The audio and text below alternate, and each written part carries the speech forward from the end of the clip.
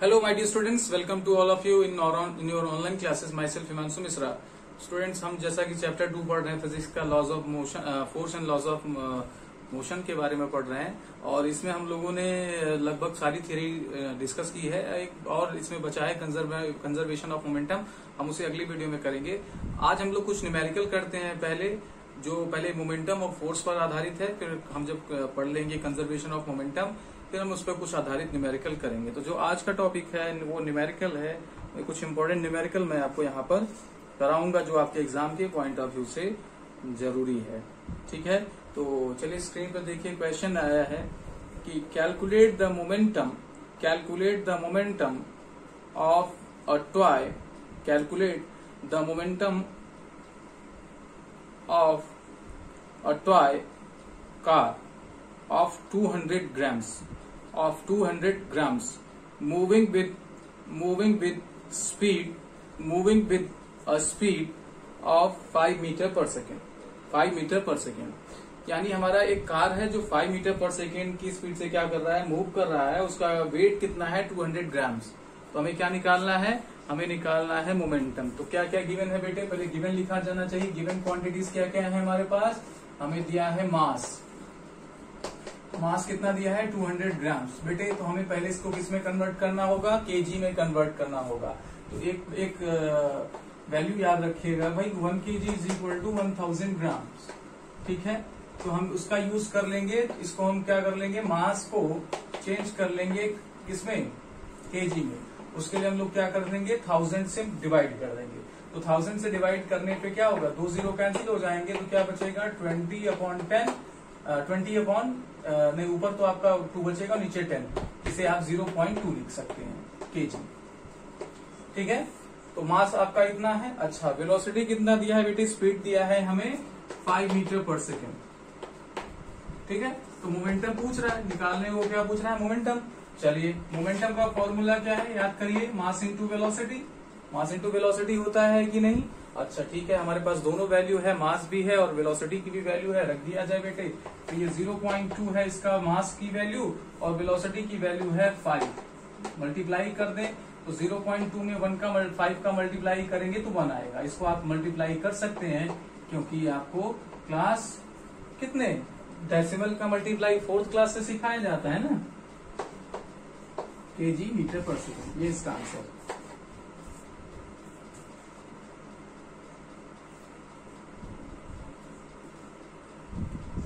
जल्दी से आप लिखिए, क्योंकि तो ये आपके लिए काफ़ी यूजफुल होने वाला है। ठीक है? चलिए आई थिंक आपने कर लिया होगा।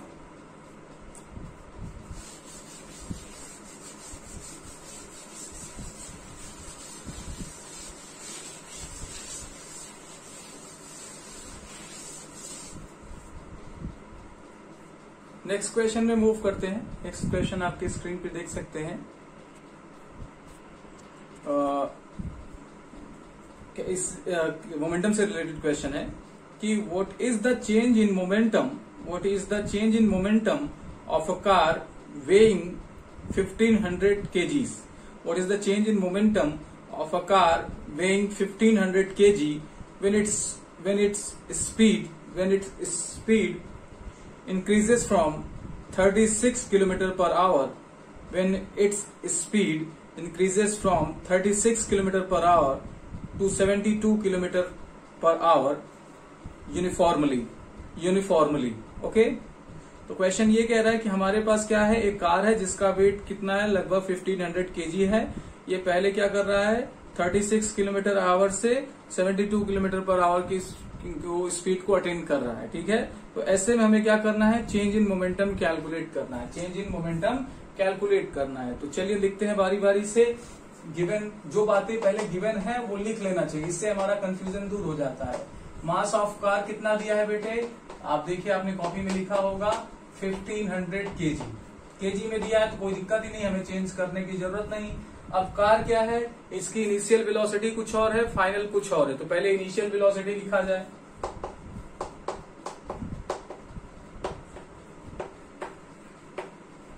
क्या स्पीड लिखा है तो स्पीड ही लिख लीजिए तो कंफ्यूजन मत रखिए। इनिशियल स्पीड कितना है इसकी? Thirty six kilometre per hour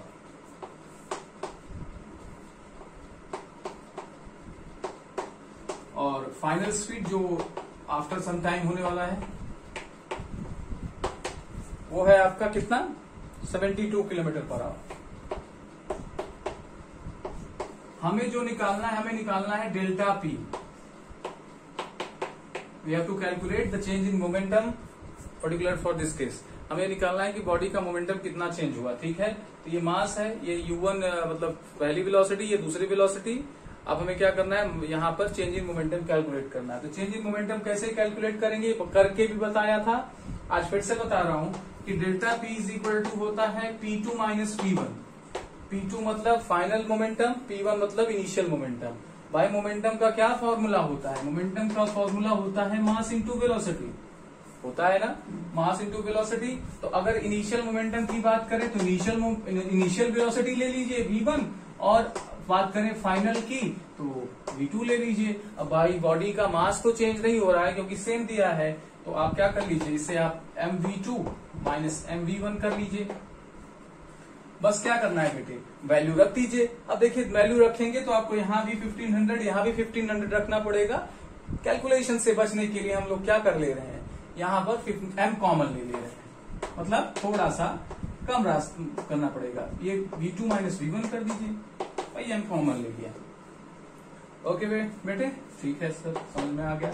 M कितना है आपका? 1500 रख दिया। वी टू कितना है? फाइनल वेलोसिटी की फाइनल स्पीड कितना है? 72 इनिशियल क्या है? 36 है ना? ये आ गया।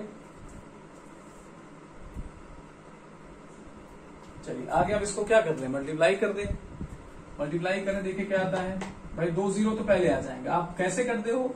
ये आप सिंपल मल्टीप्लीकेशन मैं जल्दी से कर दे रहा हूँ। Fifteen six nine nineteen nine हो जाएगा। फिफ्टीन थ्री फोर्टी फाइव और फोर्टी फाइव में नाइन ऐड कर देंगे तो फिफ्टी फोर आ जाएगा। हाँ ठीक है? तो अब याद रखिएगा कि यहाँ पे जो हमने वैल्यू रखी है वो किलोमीटर पर आवर में रखी है। इसमें रखी है किलोमीटर पर आवर तो इसका क्या होगा वैल्यू के जी किलोमीटर पर आवर अगर आपको कहीं देखने में आता है कि नहीं, अरे मीटर पर सेकेंड में है तो आप क्या करें? इसको आप यहाँ पे ही 36 और 40 72 को क्या कर लीजिए? किलोमीटर पर आवर में चेंज कर लीजिए। सॉरी मीटर पर सेकंड में चेंज कर लीजिए। कैसे करना है? मैंने आपको बताया है कि 18 बाई फाइव से कब मल्टीप्लाई करना है 5 बाई एटीन से मल्टीप्लाई कब करना है। बहुत अच्छे से, बहुत सीरियसली हमने जब चैप्टर वन पढ़ रहे थे तभी आपको बताया, उस पर न्यूमेरिकल भी कराया। तो ये आपकी अब ज़िम्मेदारी है अगर ऐसा चेंज आता है करने को तो आप करिए। चलिए, इसको लिख लीजिए जल्दी से।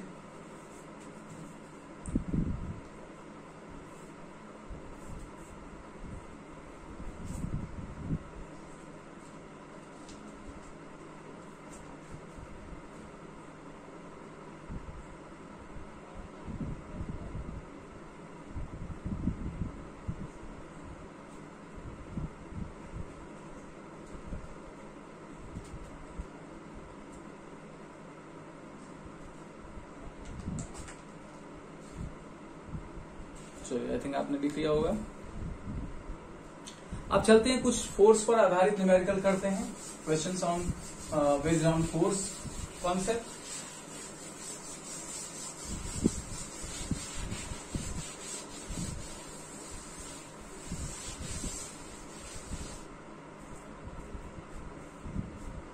ठीक है?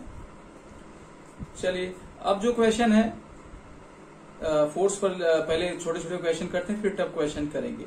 वॉट फोर्स क्वेश्चन देखिए what force would be needed would be needed to produce to produce an acceleration to produce an acceleration of four metre per second square of four metre per second square in a ball in a ball of mass of mass three mass six K G ठीक है? Six K जी question क्या कह रहा है बेटे? Question ये कह रहा है कि हमें क्या करना है? फोर्स लगाना है किसी ऑब्जेक्ट पे और फोर्स जिस ऑब्जेक्ट पे लगाया जा रहा है वो है सिक्स के जी और उसका एक्सिलरेशन जो प्रोड्यूस होना है वो four metre per second square according to question है ना?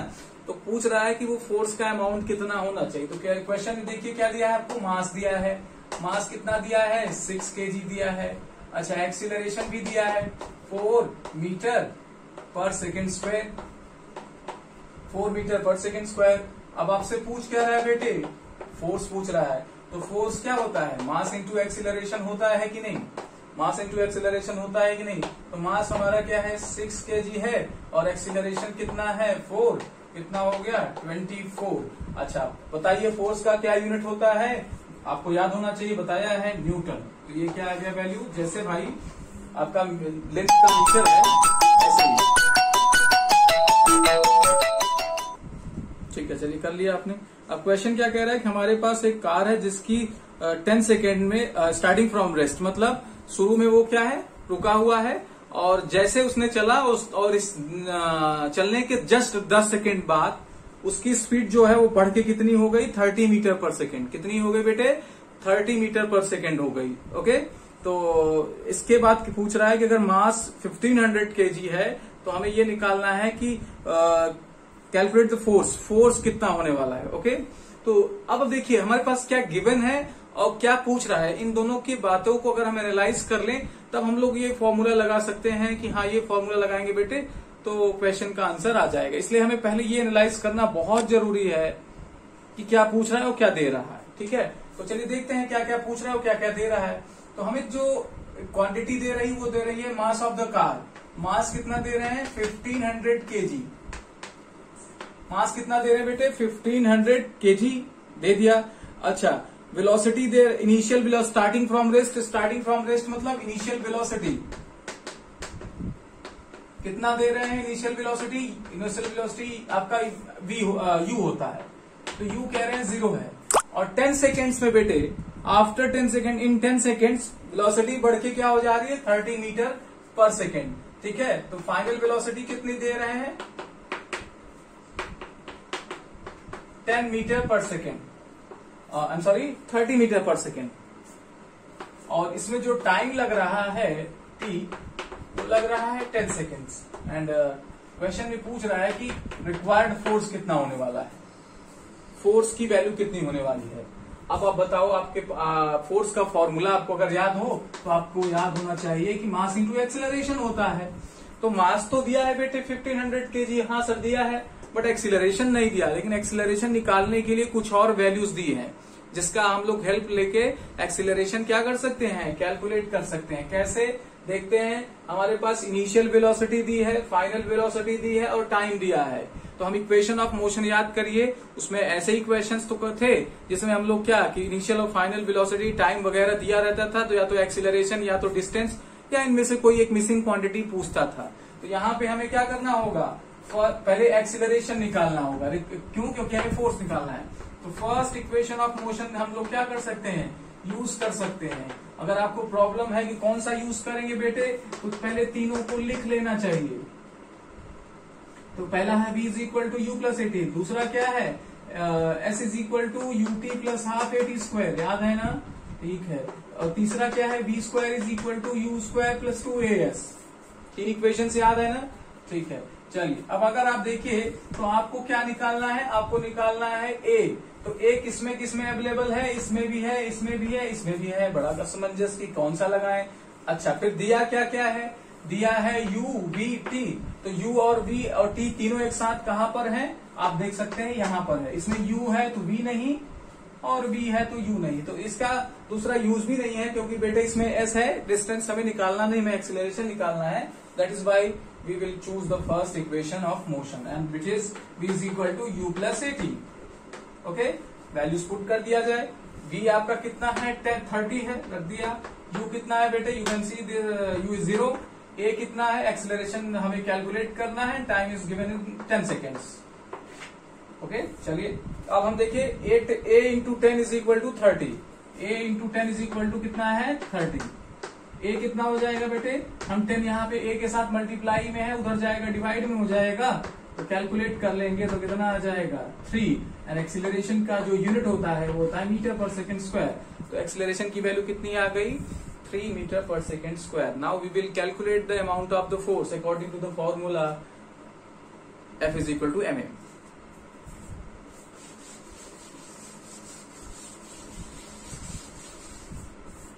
okay बच्चे? Uh, now force is equal to mass into acceleration force हमें कैलकुलेट ही करना है। मास क्या है हमारा? मास हमारा 1500 केजी है। देखिए, और एक्सेलरेशन हमारा कितना है? Three metre per second square 3 metre per second square तो 3 रख दिया। अब इसको जब सॉल्व करेंगे तो 15 इंटू थ्री कितना होने वाला है? 4500 न्यूटन तो this is the answer of this question okay बच्चे?